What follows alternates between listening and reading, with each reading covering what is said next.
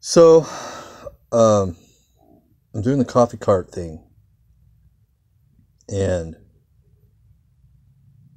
the coffee cart business, uh, we almost got it going.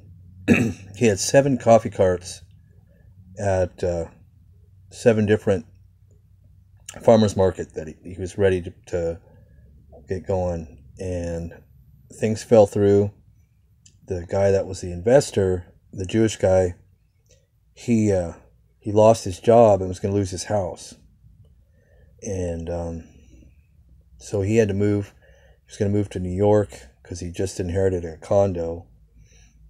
His mother died, so that was over, and uh, the whole time I had been studying about coffee shops, every book I can find, and um, and how to start a coffee cart business, all that stuff and um, I read this book about the origin of coffee shops, coffee houses, and it explained how coffee houses were used, you know, during the American Revolution. Before that, different kinds of they were used for political purposes, for people to meet and talk and assemble. And uh, they were called the uh, penny universities because people who weren't educated would be in there drinking coffee and people who were and they would share and educate each other about different things. And so it was called a penny university because you'd have these conversations educational conversations. So i started brainstorming. That was because being a petitioner um, you know i was thinking about the political value of that and how things came about so I had an idea for a different kind of coffee shop, and um, for political purposes. With all this going on in our, our country, especially with socialism and everything else, and um, monarchs, bad real estate, bad business, bad politicians. So, my idea was uh, you know, to kind of use it for uh, to prevent. I had this idea for the coffee shops, and I kept it, and um, that was another. But it was just one more thing, one more business that I was envisioning out. That, and I was already working still on all that music, music gardens, and uh, music labs, and that was going on for years, you know, going back and forth, trying to figure out some how, what to do and how to come up with the money and how to accomplish it. And uh, my main goal, the whole time, all of that stuff was going on. Is ministry was, you know, what was God's calling in my life? What was my ministry? Because I had 19, or at age 20, I had been anointed for ministry. I was called up on this stage in front of 4,000 people and um, they prayed over me for God to anoint me to be a minister. So I was wondering when that was going to happen. I'm getting older. None of the ministries, I seem, it didn't seem right to get involved with most ministries I, I'd been involved, you know, I'd ever visited. Even the Catholic Church, I, I mean, uh, there's no way I was going to give up all my rights to be, let Romans and Italians and monarchs and all that rule over me just because they try to make that part of the religion. I just think that it's totally opposite. I think it's because of Christ that we have freedom, that the, all the things, the principles in America and our way of life had to do with Christ, not the other way around. It's uh, it was a furtherance of the gospel, the American freedom, not a hindrance or a rebellion, the way they say um, to me, and I I believe that is God gave me freedom, and that uh, it's against God to take it away, even you know, because the church needs that freedom. Anywhere in the world where there's no freedom, that means the church isn't free. And uh, why would God do that? So I don't believe the Pope. Not at all. And um, I believe Catholic clergy, most of them. I don't believe they're harmless. A lot of them. I don't believe Catholics are all that harmless, if any. Um, I don't know what's in their mind about the United States and freedom. I don't believe them. I don't believe that they are in the United States who they believe they are. That's just my. Uh, I'll, I'll sit there and I will sing those songs because I like them. And other than that, I don't talk to Catholics because I don't agree with them about themselves, about their families, about their work. I don't. I, I love people and everything, but how can they be monarchs in America? How did their work and their school become more than others? How did their faith in God become more than others when they don't even believe? They just totally contradict everything about that they believe. There's no tradition. Nothing. Er, everything's been been changed so much ever since way back. I mean, there was Arian. There was just all kinds of stuff in it. It's not the original faith of Christ. They just used a Rome, a city called Rome. When that place called lost power, they started making things up to try and make things people believe in, in their power. And I don't like to do that. Even to make gods out of, of people. Fables, fate, you know, legends, myths. And I don't agree with them being um, somebody who I have to surrender or submit to that way. That I don't believe in their authority of that kind. They offend me and then tend that don't matter. And then when you do something they don't agree with, it's a cardinal sin. People would be, uh, people could, could murder American if it was up to Catholic, and Catholics would think that's that's okay. It's okay. They they baptize mafias and they don't care about them do their weddings and they do all that and their burials just like they do anybody else's. They don't like put them away from the church like it says. It says in the Bible, you're supposed to put people out after you baptize them and they continue to sin. That way, live like the world. You're not supposed to consort with them. The Catholic Church consorts.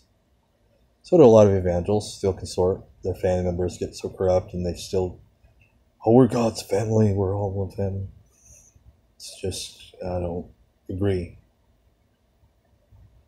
Lodge members, all. Um, but anyway, so I came up with that, and um, I was looking into getting out of the city.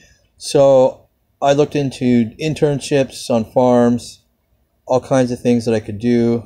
Uh, I looked, visited some. It was starting to seem like they were actually like legalized slave. They don't pay. They it's called an internship. They don't teach you anything. They just get you to do your. They trick a lot of college students into doing it, young people into working for free. And um, I don't agree with it. And so I thought, no, you know, because the bigger farms they pay really well, but the small farmers, boy, they try to trick you into working for free. So they're no bet they're no better than a big farmer. And um, so I thought, no, I'm not gonna I'm not gonna do that. Go along with it, and I didn't. And then uh, I decided to uh, use the carnival, try to get get out of you know the city because it traveled around, and um, got a job at the fair, and uh, bought a car, stuff, and I was gonna work some carnivals, fairs, and and um, that uh, hippie guy, he uh, the coffee coffee guy, Iron Turtle, he uh, told me that uh, he wanted me to uh, go with him to pick blueberries and see if we can earn any money doing that just for some extra cash stuff and we tried it we didn't get any money he's like oh my god how do these people earn enough money on these blueberry patches and i picked like the most in the whole bunch, you know, and I barely got any money, and um, it just wasn't a good blueberry patch, I guess. I don't know. Mexicans sure work at save. I don't know how they do it. um, and I was picking as much as the Mexicans, you know, and uh, then uh, so we thought, well, that's a, that's no good idea, and he just said, oh, you know, I'm so sick of all this. Let's forget it. Oh, you know, and um, he did. He said, "I'm to wait for my Social Security and move to Mexico." he said. he was like over fifty. He had a few years before he could get Social Security. so, I uh, I start. I was still reading a lot of books. I studied a whole bunch of architecture books, and I sat in the coffee shops, and uh, I met this one guy, and he was telling me about. Uh, he had just bought some farmland for like 80,000 for 10 acres, split it up into one acre parcels. And, uh, oh no, was it? Yeah, something like that. He paid, he had cash. So the guy sold to him really cheap. Um, or it was 80, I think it was, uh, 80,000 he ended up paying for 100 acres and split it into 10 acres parcels and sold them 80,000 a piece. So he had 10 times his money because he had paid cash. I thought, well, how jack up the prices for land for everybody so they can't go buy any land? a lot of people want, you know, I mean, that I don't like to, I don't agree. How does the land come up that much in value just so he could get rich? Whatever. And and also in the Bible, uh, Ananias, Ananias and Sapphira, I think their name is um, God killed them when they tried they sold their property for more than it was worth, and then tried to make it right by giving to the the apostles, and uh, you know they said, hey, you know, you tempted God, tempt, you know, can't tempt us or whatever or something, and then uh, they dropped dead.